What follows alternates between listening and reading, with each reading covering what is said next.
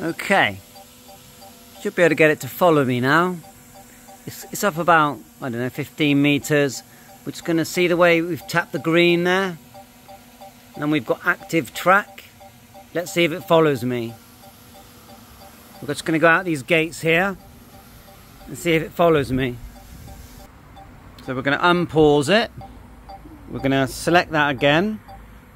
Selected go. Let's see if it follows me.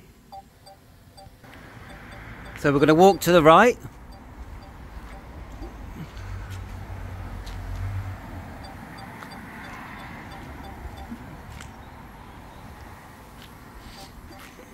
It's trying to follow me. It's a bit dark.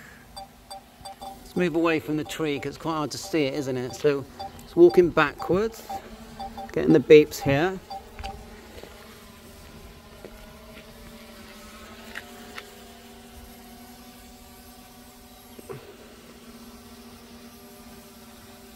It's coming.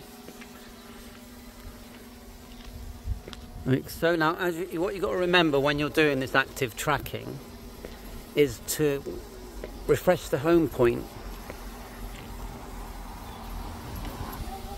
Just refresh it. There you go. It is following. And refresh the home, home point, it's just a matter of going into settings.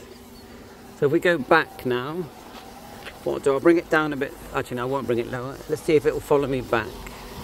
Right, I've turned round, walking the other way. See if it turns round now.